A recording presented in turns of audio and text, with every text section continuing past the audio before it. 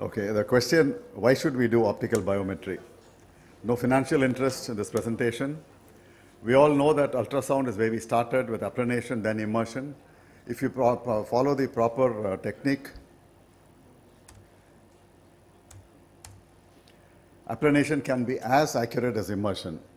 So optical, the first one that came in the market was IOL Master about two decades ago. It really didn't make any difference to the accuracy of the outcome, truly. People bought the IOL Master and they found that nothing really changed. It probably changed by about a quarter diopter, uh, less than half a diopter. At that time, the error that was acceptable was 1 to 1, 1.5 diopters.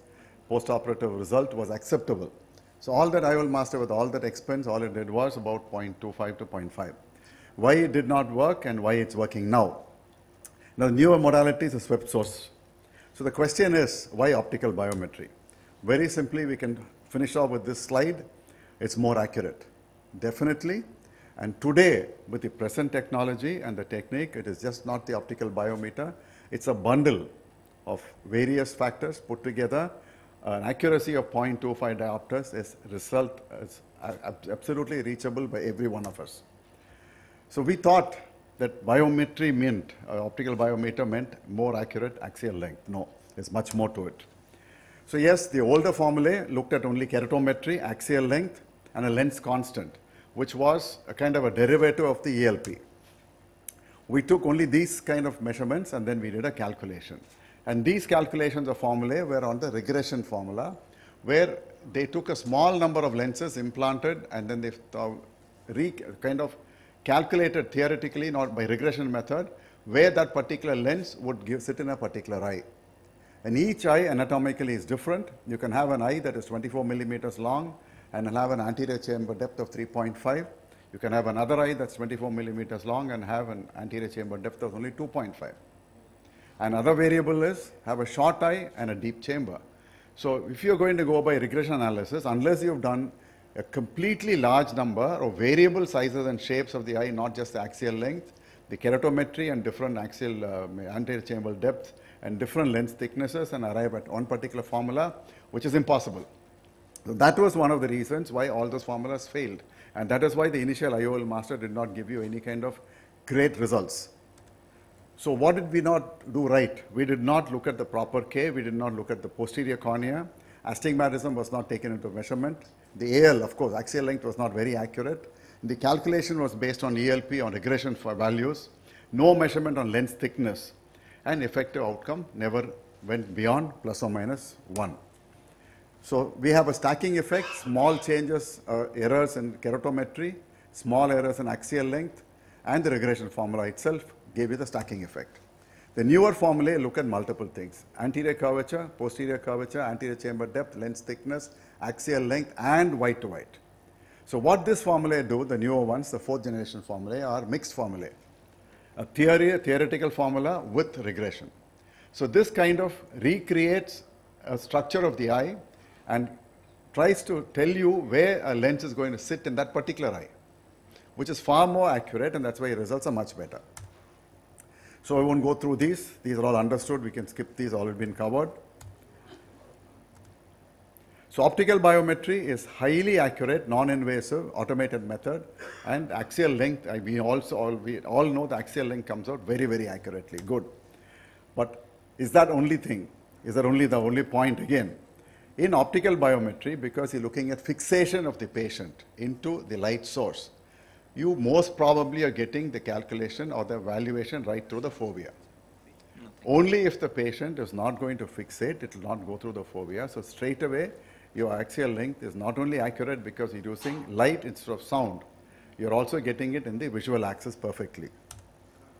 Of course, limitations were, I wouldn't say they are, they were that in cataracts, especially posterior subcapsular cataracts, dense cataracts, vitreous hemorrhages, these optical biometers were not working. But with the swept source, you'll be surprised. In a totally white cataract, you still get a reading, and the reading is very, very accurate. So then it comes to the keratometry. That's something we'll be talking about. Small errors in keratometry reading can give you large errors in your calculation of the IOL power. So keratometry should be very accurately calculated. Ignoring posterior corneal curvature is another uh, instance for wrong values. So the K values can be determined, as Nishant has already told us, by either the keratometer or by the topographer or by the tomographer. So we'll skip that again. We need tomographers that would give you both anterior corneal curvature and the posterior corneal curvature.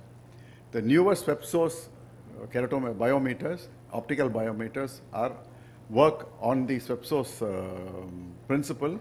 So they also give you the posterior, anterior, axial length, as well as the anterior chamber depth, lens thickness, and the white to white. So Scheimpflug devices, slit imaging devices, and any SSOCT device will give you all these details.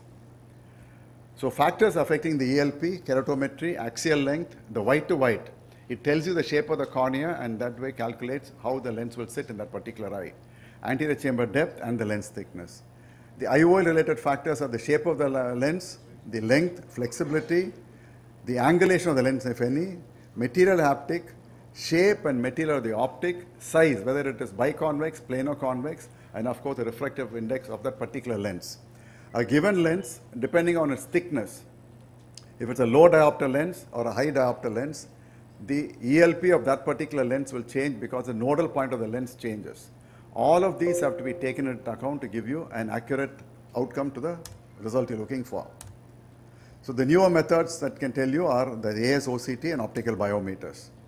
So coming back to the formulae, this will be uh, highlighted by uh, Dr. Ramesh Dorairajan, but to tell you that we need to go choose the right formula. You need to understand that the most important reading that you will have to take to get accurate results is the first point is the keratometric reading. Your K value should be perfect. You should have the anterior K as well as posterior K. Then you should have the axial length very accurate. Then you should have the anterior chamber depth and the lens thickness in white to white. And most important is the right formula. If you want to put it in the order of importance, Keratometry is most important, formula is next most important, axial length is the least important of the three. I don't mean to say axial length is not important. Of the three, it's the least important. So choose the right formula. It doesn't mean the fifth generation formula are better than the fourth generation. As of today, the fourth generation work the best. So if you have access, what is the advantage of optical biometer? Why did I put the formula here when talking about optical biometers? The advantage, advantage of having one of these is that all these formula are there available on one platform. On one click, all the entries are there. You can choose the appropriate formula for that particular patient. Haigis Suite will work for one, and Barrett Universal 2 work for another set of patients. So you have the ability to choose the formula and no transcription errors. Again, playing devil's advocate, all these formulae, or most of them, are available on the net for no cost. You can go on the net, choose the formula, and get the best results. So we come to what addresses all of these. So what is the advantage of the swept source biometer? Not only does it do all these calculations, you can actually physically see the foveal pit. If you don't have a swept source biometer, you have an optical biometer, you're going by the assumption that the patient is properly fixating on the light and the reading is going through the fovea. On a swept source biometer, you can actually see the uh, contour of the fovea, and unless the reading is passing through the fovea, you can disregard the reading. If you have a patient who is not cooperative, you know that the results are not very good. That's one major advantage. Second, all these readings with one click. You don't have to do multiple readings. All the readings that you want come on one click. Third most important is the keratometry. Here, the keratometry taken by the IOL Master 700, again no financial interest, is the most accurate. It goes by the telecentric keratometry method, where multiple zones are taken and the distance between the instrument and the cornea is not important. In other words, even if the mires are decentered, the results are perfect. So that's the most important thing. That's why the telecentric keratometry, as of today, is the most accurate keratometry that you can have.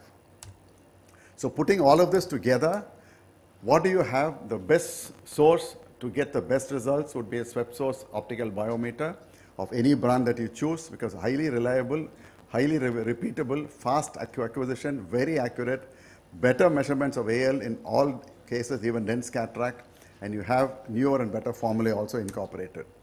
So what do you get again is the accuracy of K value, axial length, white to white, AC depth, lens thickness, no transcription errors, optimized workflow, appropriate formula. And that is why today the optical biometers are probably the best way to go. Again, I'll play devil's advocate. You can work a little harder, spend maybe five, ten minutes more every patient, and get almost the same results with a simple keratometer, manual keratometer, and uh, ultrasound biometer. Thank you. Thanks, Arul. Are there uh, any questions for uh, Dr. Arul? Please. Can I ask you a question, Arul? Yes, please. I know you don't have any financial interest, but how, can you guide, I mean, which one is uh, giving uh, this much accuracy, another company is giving this much of accuracy? Okay, all, Your, your experience. okay, all optical biometers are equally accurate for axial length. Swept source, no, no, swept source biometer. Ultimate, uh, I No, I'm mean, coming results wise. I'm coming to it. So the swept source biometer can read through dense optical opacities. That's the advantage to go to swept source over a simple optical biometer. Why go for uh, the uh, IOL Master 700? Telecentric keratometry is very, very accurate. That's the advantage. So today, I would use the word today, IOL Master 700 is probably the best. The MOVU the optical biometer swept source is excellent. It's outstanding one. Now you have this all-in-one that's coming in. Swept source units that will do topography, anterior, posterior, axial length, everything put together. And these are the newer ones that you probably look forward to. So the answer would be today, IOL Master 700. I don't know what is tomorrow. Sometimes we don't uh, talk about the price, but everyone is concerned about the price. I mean, this is costing 35 lakh rupees. And how much accuracy we are going to get around 0.25 diopter. This is what you are saying. And No, no, no, another no. one, no, no, No, no, from, maybe from the company one, saying. no, no, from a potential error Yeah. of 0.75 to 1 diopter plus or minus, Yeah, yeah. you can come down to an error of 0.25. Yeah, yeah. so that means right. if you are going to get within 0.25 plus or minus for every one of your patients, or Yeah. at least 92% of your patients, Yeah. it's worth it. And uh, uh, taking price of other uh, biometers, how much accuracy they are getting. Let, let's Lenstar. Exactly. Lenstar is not a swept source. So it's not going to work in a dense cataract. The K values you get from ten- Lenstar are not as good as ones, one you'll get from a swept source. Sir, they are both the same, sir. The practically you will get the same results, but if you get mature white cataracts, about 70% or 80%, you can take a reading with a IOL Master 700 and with a Tomey, but not with the Lenstar. So we get quite a lot of quite a lot of white cataracts. So I had an IOL Master, one, of- one of the old models for over nearly 10 years, but every month I used to do at least seven or eight, or I think weekly two or three uh, uh, uh, Problems. A scans. Yeah. But after getting the IOL Master 700, it's become like one a month. So many of the white cataracts and the mature cataracts, as long as they have one or two water clefts, this is this is able to image. Uh, So it is not necessary, sir. Only if you want, you need need to get it. So the cost also, sir, you can get a second-hand uh, uh, IOL Master 300 or 500 for around 6 lakhs. If you talk to the company people, they have used models which are there in the market. So you have a range of costs. You have old refurbished ones costing around 6 to 8 lakhs, and then you have the new ones costing 25 lakhs and above. Yeah, another question. How much we can offer to the patient? Like patients are coming, how much accuracy will be there? Actually, if in writing terms, how much we should offer? I, as far as my knowledge goes, and I tell my patients that in 90% of the uh, patients, we get good accuracy. 10% patient, they can have some problems. So the Uh, patient whichever- cannot. To, uh, Whatever to have your- medical legal aspects and all No, these no. things. Whatever you're doing, Yeah. if you go and do an audit and you're within 0.5 plus or minus in over 90% of your patients, don't change your technology or your technique. If you feel, if you do an audit and you find that you're not there, it is over 0.75 and nine, not uh, in 90% of your patients, no, you're not, not there, then you have to change your technology and technique and formula. So it all depends where we are. Now, coming to medical legal aspects, patients are, how much we are offering them normally, and that how much accuracy will be there, I would especially say- multifocals and all these. You can, with one of these newer uh, instruments and the newer formula and proper application of the formula, you can get to over 95% within 0.25. Definitely, we are there. Uh, Is it uh, written somewhere or it's? uh, It is not, it's something available? that, that is, uh, that is doable, I think. Hmm? Sorry? Ramesh will answer. With uh, the Sir, proper the current international standard, if you do all the things correctly, 92% can get within 0.5 D. The very, very good refractive corneal uh, cataract surgeons, they get 95% within 0.5 diopter. But they take a lot of extra steps. For example, they will not take a, uh, uh, they will optimize the ocular surface before taking the measurement. They will not just take it when the patient comes. Yeah. They will do a tear film evaluation, spend several weeks optimizing the corneal surface. There's a multi-part system which you have to follow, sir. So many times patients, uh, those who are operated by me or somebody else, they come to the, uh, come, to you. Uh, this doctor, he told me everything will be okay, and now I am having this problem, 0.5, 0.75. Now, how to, I mean, keeping our colleagues' interest in mind, how to, I mean, uh, tell the patient that That's this can happen. This was my question. Sir, uh, uh, uh, before we take your question, I have also a question for Arul. In a macular hole, Arul, where does the IOL Master 700 focus? At the foveal fit or pit or at a paramacular fixation No, point? The IOL master does not focus. Where does the patient focus? Sure. That's it. Hmm. That's about all. Super, Arul. the Thanks. IOL master doesn't focus.